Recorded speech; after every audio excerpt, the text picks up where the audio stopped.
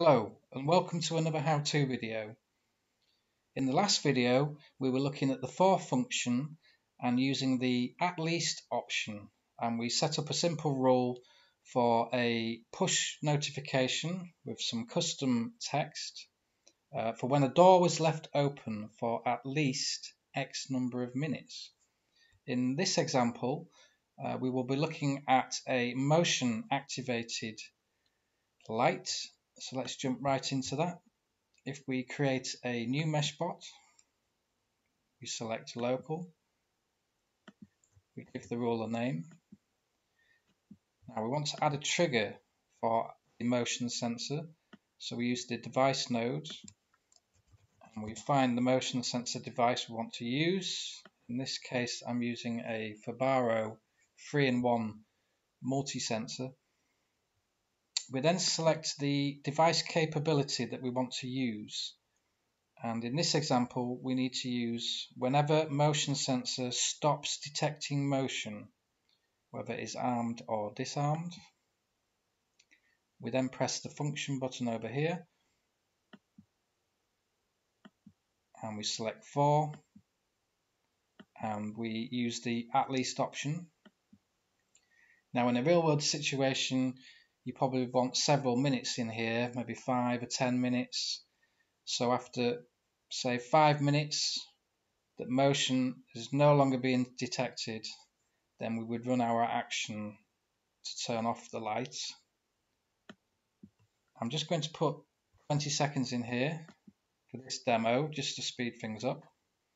That's it for the trigger. We then go to the actions and we need two actions. We have a true action, so let's add one of those. And again, we select the device node and we select the lamp or the light that we wish to control. And we select which capability of that device we wish to use. I'm going to select switch. And for the true action, it needs to be off. We then also need to create another action under the false tab. So we select that. We add action again. Select device. Select the same light. Select switch. But this time we are selecting on. So the false action switches the light on and the true action switches the lights off. Now this is just a Hank RGBW bulb which I'm using as my device I want to control. We save the rule, save. If we then switch to the Android mobile app, we can see here we have the Hank bulb and we also have the Fibaro motion sensor down here which is not currently tripped for motion as the icon here is grey. If I trip the motion sensor, I'll wave my hand in front of it. We can see that the motion sensor has been tripped and the icon has changed to red. Now initially the, the first time the rule is run there is a slight delay and we're just waiting for that.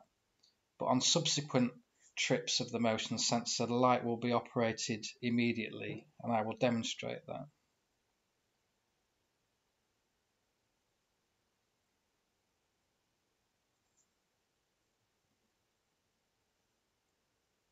So the light has been turned on. Motion is now no longer detected because the icon is now grey.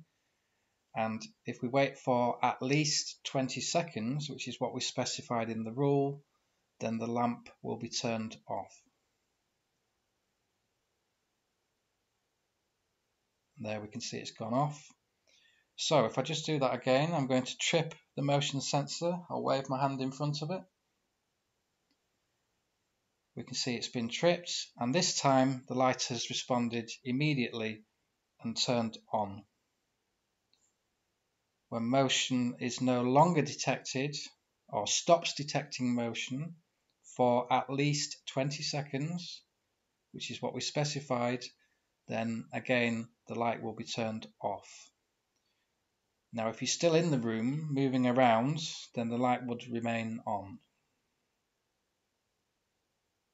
So we can see motion has stopped being detected.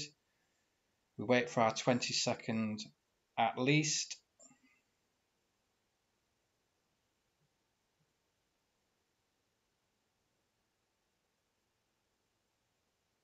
And the light will be turned off. There we go, it's turned off. So as you can see, a very easy way to set up a motion activated light in the MeshBot rules using the for function and the at least option.